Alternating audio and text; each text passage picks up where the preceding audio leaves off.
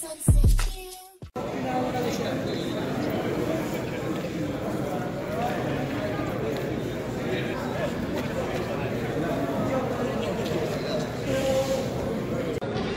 buonasera, io lavoro da, ho lavorato diciamo, da 25 anni in Tagina, un po' più di 25, sono stato licenziato il 19 di dicembre e quindi eh, mi sono segnato per la NASPI, ma siccome che per, per andare in pensione mi mancano ancora due anni e sei mesi, e non so, forse se continuiamo così in Italia per andare in pensione ci vorrà la reincarnazione. Per me la penso in questa maniera.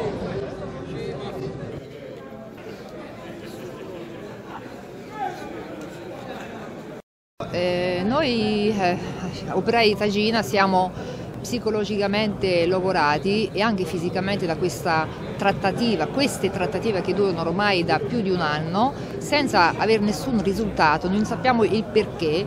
Eh, praticamente noi è tre mesi quasi che non prendiamo lo stipendio, non sappiamo come arrivare alla fine del mese, non sappiamo se avremo un futuro.